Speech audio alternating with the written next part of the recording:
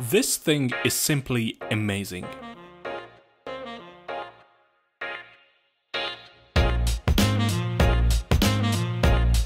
I have been looking for a commercial solution for power analysis to measure really low current consumptions, but I was discouraged when I saw the prices.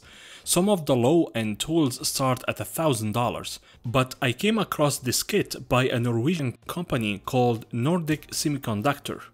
It is called NRF PPK2 Power Profiler, or as it's commonly known as Power Profiler Kit 2 it is a power analyzer that can handle currents as low as 1 microamp all the way up to a full amp with auto switching and it costs only 130 Canadian dollars.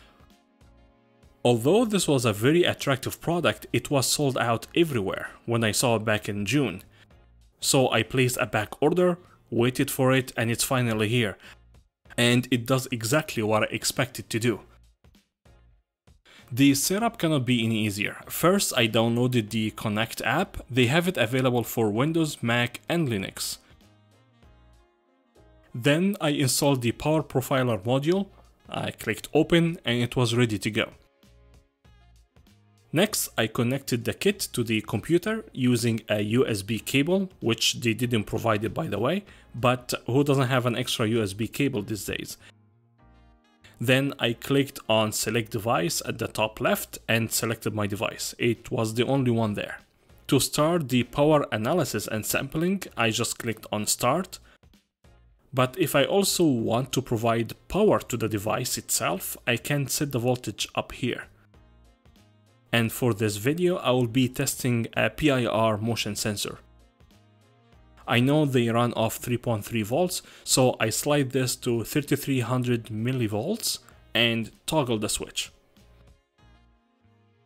The kit comes with this cable and it has four wires. If the kit provides the power, then only two wires are used, the VCC and ground. But if the power is provided externally, and the device is only used for measurements, then two wires are used for power, so VCC and ground, and the other two go to the device being monitored. When I click start, the monitor begins, and as I mentioned earlier, I'm using a motion sensor or a PIR sensor for my test. On the seller's page, it says it consumes less than 0.1 milliamps or 100 microamps, and indeed it does. As shown here, it is using 20 something microamps on average, which is good. The reason I bought this kit is to use it for my projects of course, more specifically my ultra low power trigger sensor. So far I've been guesstimating the power consumption either by the datasheets or using average consumption over long periods, but now I have a tool that I can measure precisely the energy consumption. So stay tuned for that video, this is going to be a lot of fun.